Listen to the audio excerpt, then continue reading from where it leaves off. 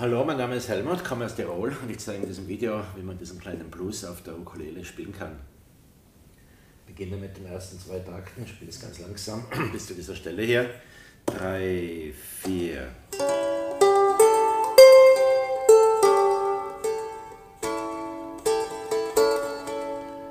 Und dieses Zeichen da auf dem Dreier bedeutet, dass ich den Ton ganz leicht in die Höhe ziehe. Nochmal die ersten zwei Takte. Drei, vier.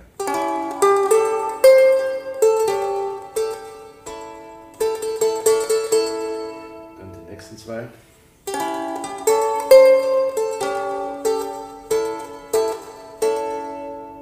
Und dann geht es ins D.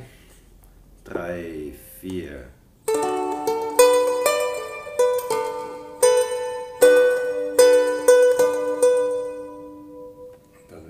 A7.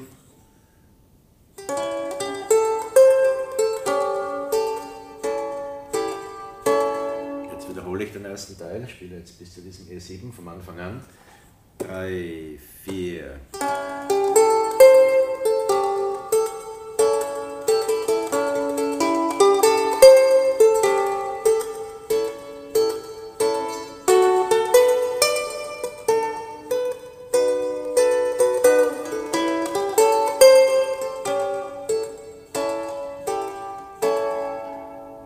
E7, 3, 4.